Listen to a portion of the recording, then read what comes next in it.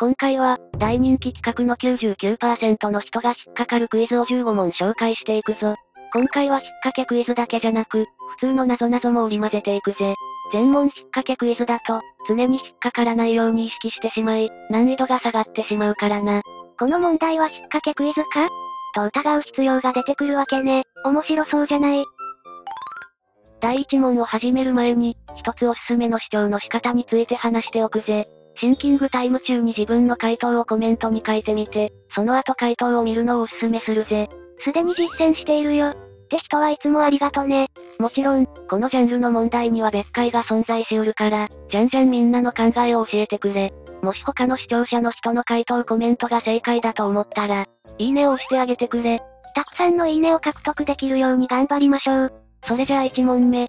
とある町には、レストランが3軒ある。A の店舗はいつ行ってもまずい料理しか出さず、B の店舗はシェフが数人いるから、シェフによって味にばらつきがあり、美味しい料理を作るシェフもいればそうでないシェフもいる。C の店舗の料理はとても美味しいんだが、シェフが大変な気分やで、機嫌がいいと美味しい料理が出てくるが、機嫌が悪いととてつもなくまずい料理が出てくるぜ。この3軒のレストランの中で、納得した料理を確実に食べるには、どの店を選べばいいだろうか？シンキングタイムスタートだぜ。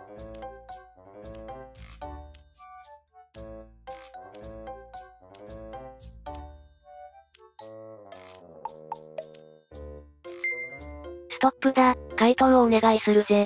A の店舗は、いつもまずい料理を出してくるから、まず選択肢から消えるわね。C の店舗も、シェフのご機嫌を取れれば美味しい料理が食べられるけど、人間そんな簡単にご機嫌を取れるとは限らないわね。C の店舗の料理人が人とあまり話さない頑固なおじさんの可能性もあるしな。B の店舗なら、美味しい料理を作れる人だけに頼んで作ってもらえば、いつでも納得した美味しい料理を確実に食べられるんじゃないかしら。正解は B でしょ。残念、正解は B ではないぜ。もしも美味しい料理を作れる人が、その日全員休みだったらどうする？それだと、納得した料理を確実には食べられないんじゃないか？あ、その可能性もあるのね。霊夢が不正解だったから、回答と解説に移るぞ。この問題のポイントは、納得した料理を食べるときとはどういう時なのかを考える必要がある。そりゃあお店に行くんだし、美味しい料理を食べた時でしょ。普通はそう思うかもしれない。だが料理を食べて納得する時とは、お店に入る前の期待値を、料理の満足度が上回った時か、期待値通りの満足度だった時と考えられないかあ、確かに、すごい美味しさを期待して入ったお店が、普通に美味しいなぐらいの味だったら、確かに納得してはいないわ。B 店と C 店は、シェフ次第で美味しい料理を食べることができる。だが、それは料理を食べるまで確実にはわからない。お客さんは、もちろん美味しい料理を食べたいと思っているから、食べて納得できる確率は半分の50%になるってわけね。そうだ、だが A の店舗はどうだ？最初からまずい料理が出るとわかっているなら、料理を食べて、確かにまずい、と納得するだろ？確かにそうね。ということは A 店だけ、確実に納得した料理を食べられるってわけか。そういうことだ。だから正解は、A のレストランになるぜ。あまり美味しくない料理を、わざわざ店に食べに行くなんて考えもしなかったわ。物好きな人もいるからな。そういう店が大好きな人もいると思うぜ。2問目の問題だ。避難訓練をあまりしていなかった中学校で、突然非常ベルが鳴った。その時全員が最初にしたことは何だろうか？シンキングタイムスタートだ。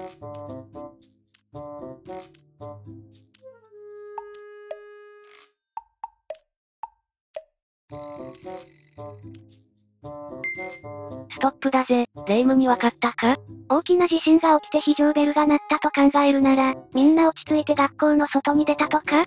ブブー、残念不正解だぜ。この問題は引っ掛け問題だ。綺麗に引っかかってしまったな。問題を見てくれ。避難訓練をあまりしていなかったとあるだろ？避難訓練をあまりしていなかったのなら、落ち着いて学校の外に出るのはなかなか難しい。そして重要なのは、みんなが最初にしたことだぜ。となると、机の下に隠れたとか確かに机の下にも隠れそうだが、その前にみんながしたことがあったぜ。するだろうと言ってもいい。机の下に隠れることよりも前に一体何なの？非常ベルが鳴った時をイメージしてくれ。みんな一番最初に、びっくりすると思わないか？あ、非常ベルが大きな音で鳴ったら、確かにびっくりするわね。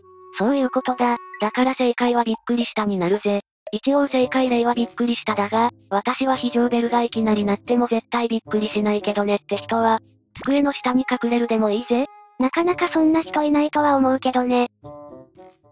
3問目の問題だ。パインの穴と50円玉の穴、大きいのはどっちだ？パインと50円玉か。シンキングタイムスタートだ。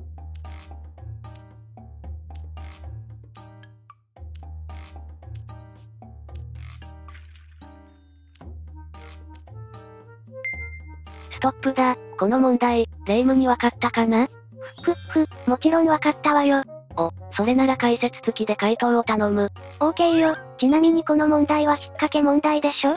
ふふ、その通りだぜ。パインと50円玉の穴と言われて、みんな、パインは切った後の、丸くて真ん中に穴が開いたものを想像したんじゃない？でも、それは正確にはパインではなくて、カットパインだと思うわ。穴が開いていないカットパインもあるが、穴の開いたものは確かにカットパインというぜ。そういうこと。つまり、この問題で聞かれているパインはカットする前のものと考えるべき。カット前のパインに穴は開いていないわね。ということは、そもそも穴が開いているのは、50円玉だけということよ。正解は50円玉ね。その通り、大正解だぜ。よく引っかからなかったな。視聴者のみんなは、この問題引っかからずに正解できたかな？っ掛けクイズは、問題文の単語も注意してみないといけないから、なかなか厄介なのよね。4問目の問題だ。猫の手も借りたいということわざがあるのを知っているか？とても忙しく、些細な手伝いでも望まれるほどに、人手が不足していることの例えだったかしら？そうだ、だがどんなに忙しくても猫の手を借りることはできないんだ。一体どうしてだと思う？シンキングタイムスタートだぜ。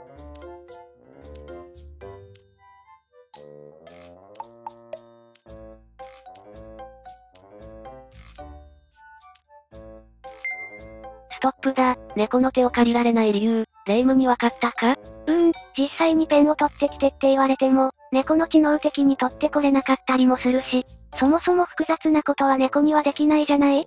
なるほど。だが、何回もゲートして練習させれば、ペンぐらいなら取ってこれる可能性もあるぜ。ぐぬぬ。確かに、何かヒントはないの？うーむ、一つヒントを言うならば、猫の手という単語に注目してみるといいぜ。猫の手？それがなんでヒントに？あ、そういうことか。気づいたようだな。解説してくれ。改めて考えてみると、猫に手ってなくない？猫にあるのは前足と後ろ足よ。ということは？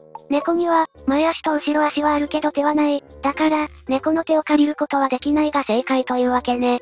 そういうことだぜ。私みたいに勘違いしていた人もいるんじゃないかしら。どうだろうな。もしかしたら前足が手で、後ろ足が足と勘違いしていた人もいるかもな。5問目の問題だ。いちご、メロン、リンゴ、この中で、あなたが一番好きな果物はどれだ？簡単な問題だろシンキングタイムスタートだ。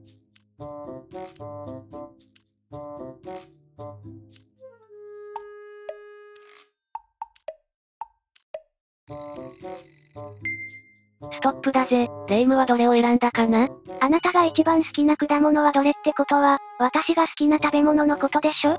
それはもちろんイチゴよ。あの甘酸っぱい味が最高なのよね。色も私と同じ赤色だし、形と大きさもキュートでしょ？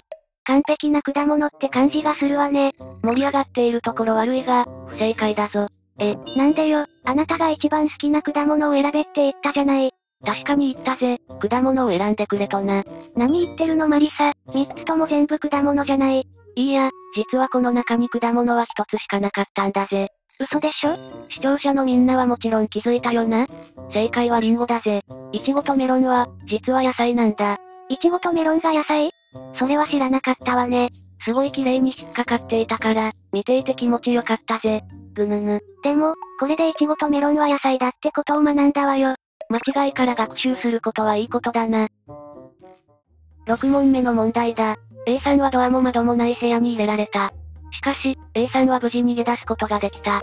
さて、ドアも窓もない部屋から、A さんはどうやって逃げ出したのだろうか？シンキングタイムスタートだぜ。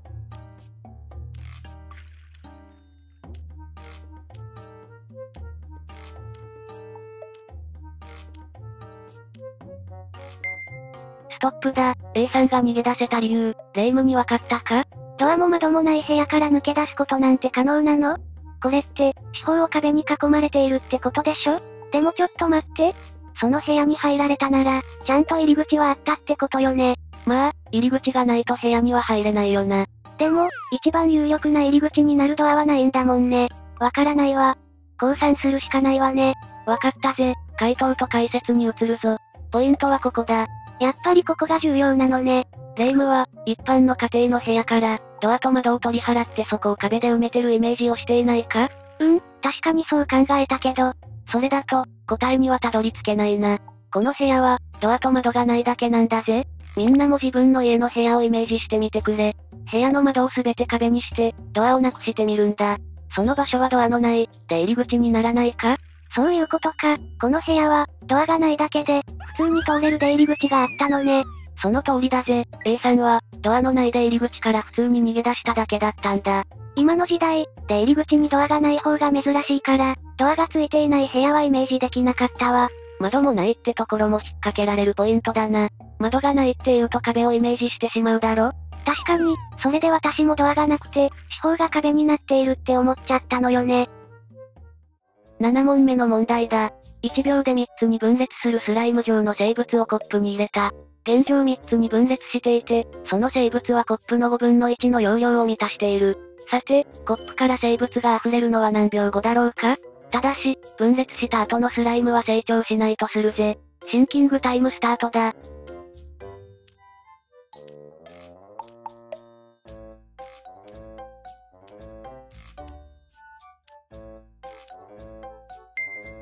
トップだぜ。スライム状の生物がコップから溢れるのは何秒後だ？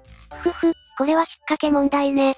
現状3つに分裂していて、コップの5分の1を満たしているなら、1秒経てばコップの中のスライムは9個に、2秒後に27個になるからコップから溢れてしまう。だから2秒後が正解、と思う人もいるかもしれないわね。でも正解は、溢れることはないじゃない？よく気がついたな。説明してくれるか？分裂って、生物がその体をちぎるようなイメージで増えるってことでしょ？分裂したら、スライム一つ一つの大きさは小さくなる。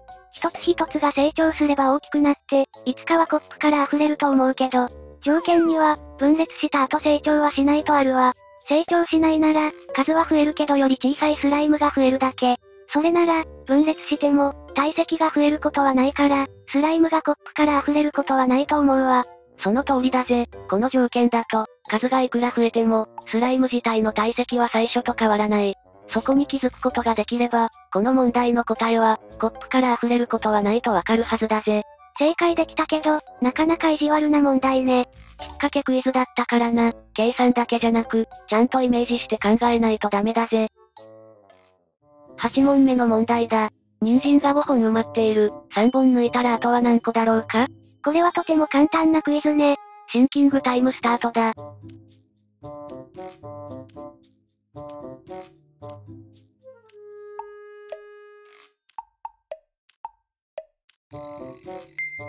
ストップだぜ。回答を頼む。正解は2本よ。5本あって3本抜いたら、残りは2本でしょ。引っかかってしまったな。不正解だぜ。いくらなんでも簡単すぎるだろ疑わないとダメだぜ。嘘でしょ？どこか引っ掛けるポイントなんてあった？もちろんだ。この2箇所を見てくれ。あ、単位が本から子に変わってるじゃない。簡単なクイズだと思ってたから気にしてなかったわ。油断したな。子という単位を使う言葉は、この問題文には一つしかない。そう。あとはとは、あとはという意味だったんだぜ。5本中3本抜いたら、あとは何個残るかわかるよな抜いた時にあとはできるから、3個になるわね。その通りだぜ。つまり正解は3個だぜ。よく考えればわかる問題だったから、もったいなかったわね。9問目の問題だ。穴が4つも開いている T シャツを、A 君は何も気にせず着ている。どうして A 君はそんな T シャツを着ているのだろうかシンキングタイムスタートだ。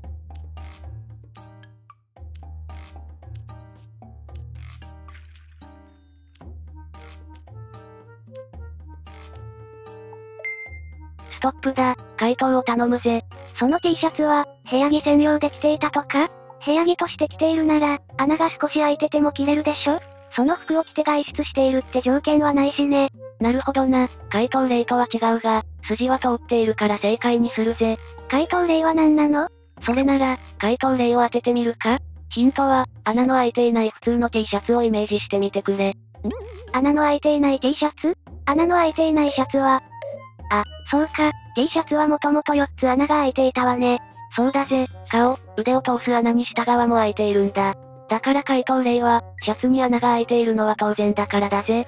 穴と言われて、こういう穴を想像していたら、もしかしたら苦戦していたかもな。私も、最初はこういう穴を想像したからね。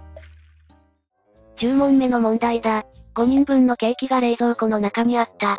A 君が、大事に取っておいた俺のケーキを、誰かに食べられた、と言っている。そして、疑わしき友人たちの B から E 君の4人に、ケーキを食べていないか話を聞いたぜ。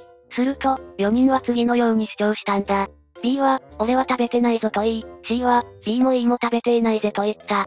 そして D は、お、俺は食べてないぞ、と言い、E は、D の言っていることは、間違いないと思うぞと言った。D の主張が怪しすぎない？さあ、嘘をついているのは誰だと思う？ちなみに、ケーキはそれぞれ一人分しかなく、そのうちの A 君のケーキが食べられたとするぜ。一人一人のセリフをしっかり見て考えてくれ。シンキングタイムスタートだ。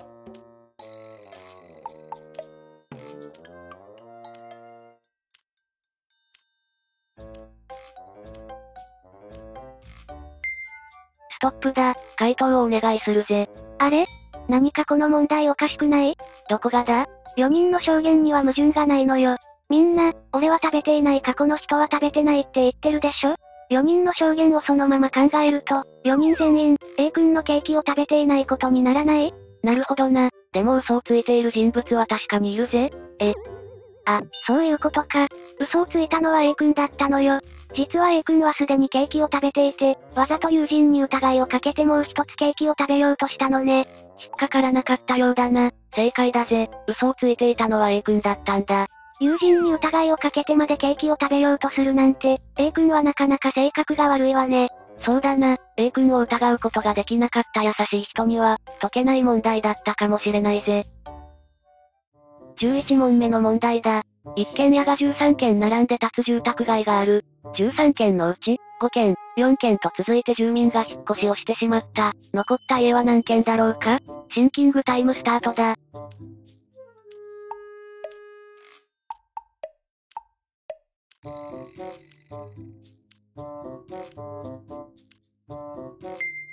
ストップだぜ。何件残ったか、霊夢にわかったか？問題文では、9件の家の住民が引っ越しをしている。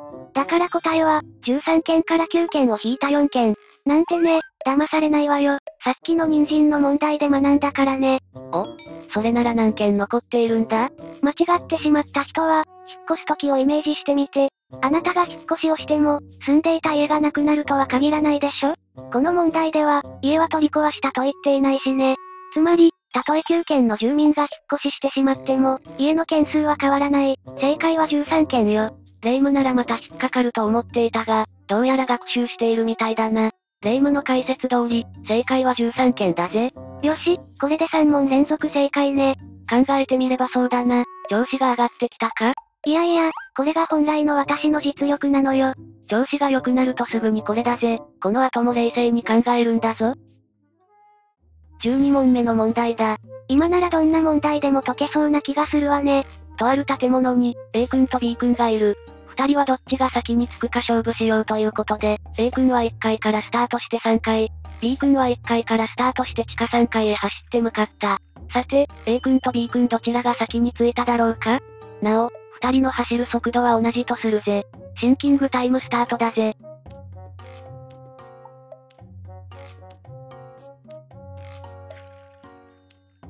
よし、これもわかったわよ。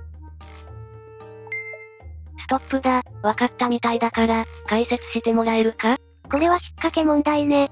どちらが先に着いたかと聞かれているけど、二人とも2回分移動しているから、二人の走る速度が同じ場合、着くのは同時になるはずだわ。甘いぜ、不正解だ。な、なんですって？霊夢が不正解だったから解説に入るぞ。とは言っても、頭の切れるみんなならもちろんわかったよな。A 君は、1階から3階、つまり2階分移動している。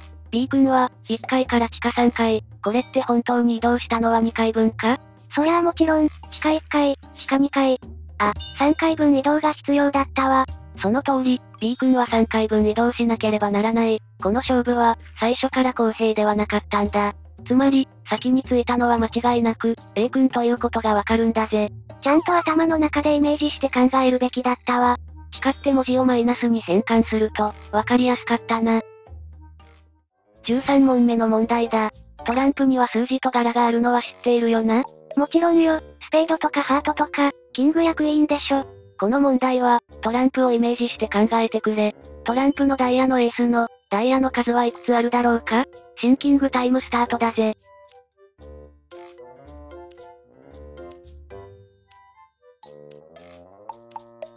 ダイヤのエースといえば、ストップだ。ダイヤの数はいくつあったかわかったかな？あれ、どうだったっけ ?2 択までには絞れているんだけど、その2択とは ?1 つか3つね。カードの真ん中だけだったか、左上と右下のアルファベットの隣にもあったか覚えてなくて。どっちかしか選べないぜ。どっちにする？うーん、アルファベットの隣にもあった気が。自分を信じることにするわ。正解は3つよ。それじゃあ正解を見てみよう。正解は、3つだぜ。やった、やっぱりアルファベットの隣にもあったわよね。記憶が間違っていなくてよかったな。ダイヤのエースという言葉の通り、ダイヤは一つ、って考えると不正解になってしまうこの問題。視聴者のみんなは正解できたかな？なんか久々にトランプで遊びたくなってきたわね。マリサも後でやらない？クイズが終わったらな、人数は多い方が楽しいから他の奴らも呼ぼうぜ。14問目の問題だ。A さんが新品のピアノを弾こうと鍵盤を押しても全く音が出なかった。一体なぜだろうか？シンキングタイムスタートだ。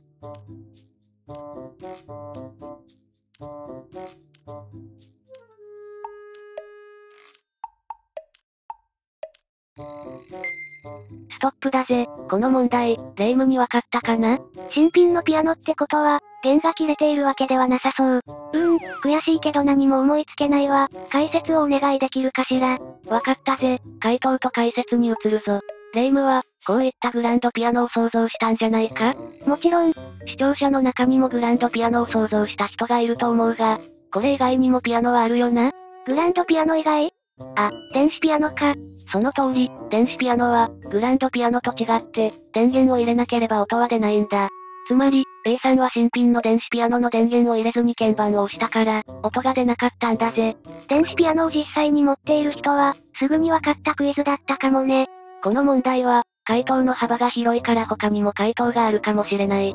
ぜひ、みんながどう考えたのかをコメントで教えてくれ。最終問題、15問目だぜ。とある監獄にいる囚人が、脱獄を計画した。その囚人の部屋の20メートルの高さに窓はある。だがさすがにそこからの脱獄は難しい。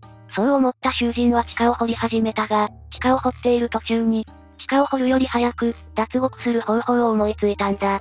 その方法とは一体、どんな方法だろうか？ただし、条件として、脱獄するのに他の人を利用していないとするぜ。シンキングタイムスタートだ。